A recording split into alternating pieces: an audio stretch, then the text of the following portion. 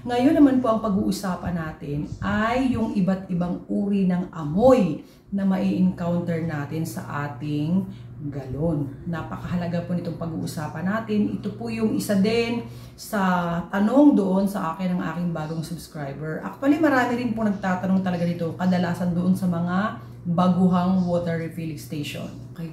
Paano nga ba yung ating gagawin kapag naka-encounter po tayo ng ganitong problema?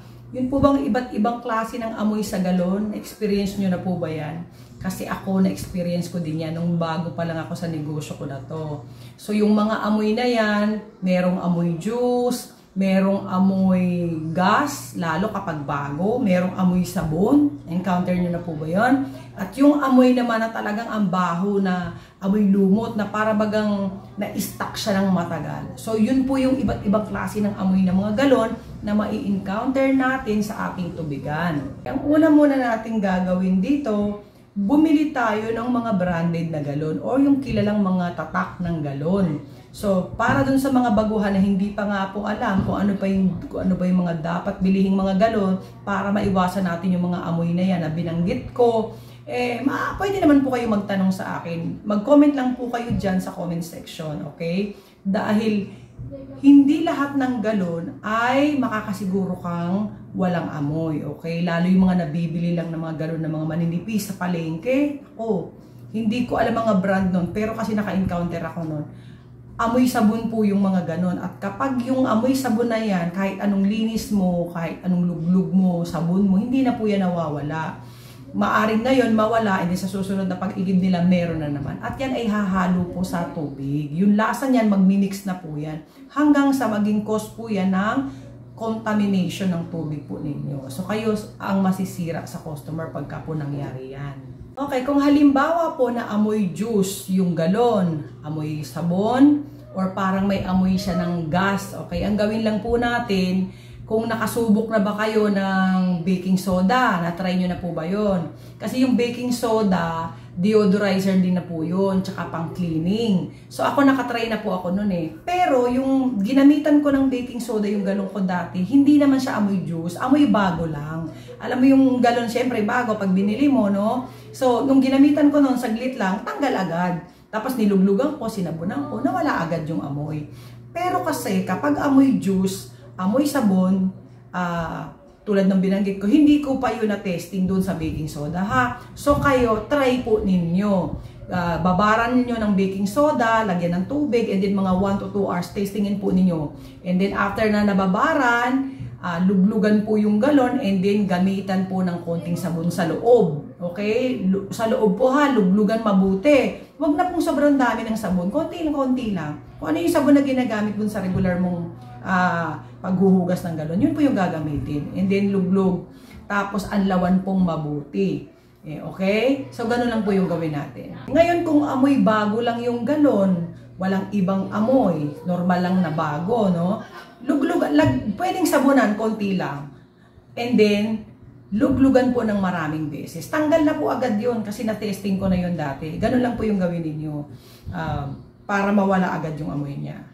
Ganun lang po kasimple yung gagawin natin ha. So ulitin ko, wag po kayong basta-basta bibili lang ng galon na hindi nyo naman uh, alam na talagang dekalidad yan. So para malaman din niyo, siyempre magtanong-tanong din po kayo sa akin. Pwede dun sa mga datihan ng water refilling station. Siyempre experience na nila yan, alam na rin po nila kung ano yung mga galon na dapat ninyong bilihin. Okay? Kasi marami pong brand ng galon. At hindi lahat ng brand ng galon ay pare-pareho. Magkakaibang level din po yan ng ganda, ng quality, di ba? So ako kasi nung bago ko sa water station, tatlong klaseng ganun lang po yung na, na, na-try ko. Kaya, meron talagang the best na ganun para sa akin. So, sa susunod na vlog, yun po yung iba-vlog natin. Okay? Tapos, sana itong mga na-share ko na to, i-apply po ninyo sa water station ninyo. Testingin ninyo yung sinasabi ko na kung paano mawala yung mga amoy ng galon na yan. And then, kapag nag-okay na po yan, at uh, uh, sa susunod na bili ng galon, make sure yung mga dekalidad na galon na po ang bibilihin ninyo para hindi masayang yung pera. Kasi magsasayang tayo ng pera. Bibili ka ng mga galon na hindi naman dekalidad, tapos may mga amoy, mapapagod ka pa. Doble-doble pa ang pagod mo at gastos mo dahil magagastusan ka na sa galon, pagbili mo, gastos pa sa tubig, di ba? Sa sabon sa tubig, magbe-baking soda ka pa. So yun po yung ibig kong sabihin.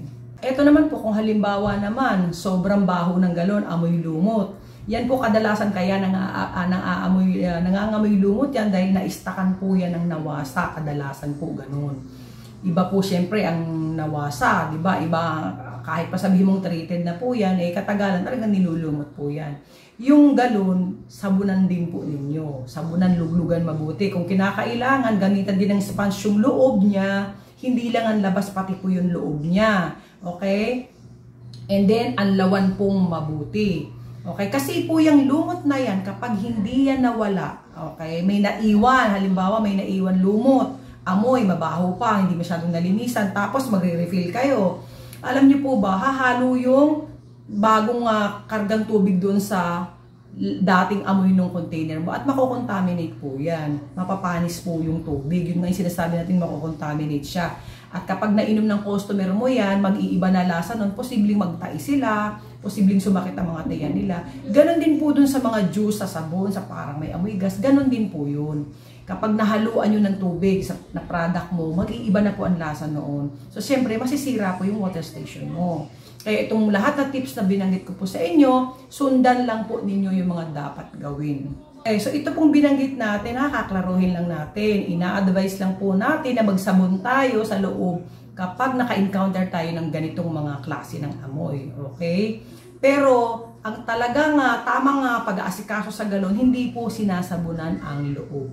Luglug lang talaga po yan. So, gawin nyo lang yung luglug lang kapag halimbawa lahat na ng amoy na yun ay nawala na, sa next na igib nila, okay na, luglugan na lang po ng tubig. Okay, advisable po talaga tubig lang ang loob, eh. hindi hindi sabon. Okay, ang sinasabunan yung mga labas, yung mga uh, gray po ng ating mga galon, binabrush po 'yan. Pakikita ko po sa inyo dito sa video na 'to yung ginagawa kong paghuhugas ng galon. Isisingit po natin para makita po ninyo kung paano yung tamang paghuhugas ng galon. Oh, ganito pagluglog naman na gagawin natin. Mga tatlong round, okay? Yung sinasabi kong uh, round na yan, ganito po ang isang round ha.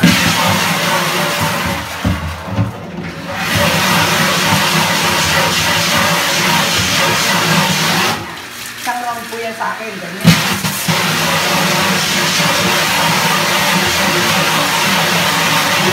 Okay, after mga dalawang round na yan, aamuyin po natin ang galon. So, kung meron pang amoy yung galon, Isang luglog pa po ulit. Isang round pa na luglog.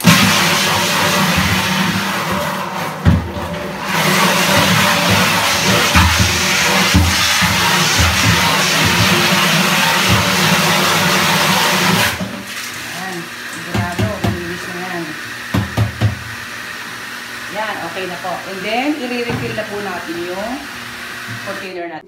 Isa po sa ating negosyo dapat kalinisan. Number one po yan hahabulin sa atin ng ating customers. Okay, sana po meron po kayong natutunan sa aking senior ngayong araw na to.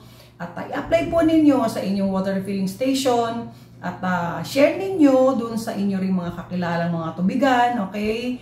Please like, share, and comment po dito po sa ating vlog at sa iba pa nating mga vlogs. At uh, ulitin po natin kung meron kayong mga katanungan, wag po kayong mahihiyang magtanong, mag-comment lang po tayo sa comment section. At uh, nagpapasalamat akong muli dun sa aking mga bagong subscribers. Thank you po sa patuloy ninyong pakikinig, patuloy ninyong uh, pagsuporta sa aking uh, uh, mga vlogs. Okay, maraming salamat po at kung hindi ka pa nakakapag-subscribe sa aking channel, please mag-subscribe po kayo. And then, uh, click lang po yung notification bell para po updated po kayo kapag meron po tayong bagong video. Marami pong salamat sa inyong lahat. God bless you all. Bye!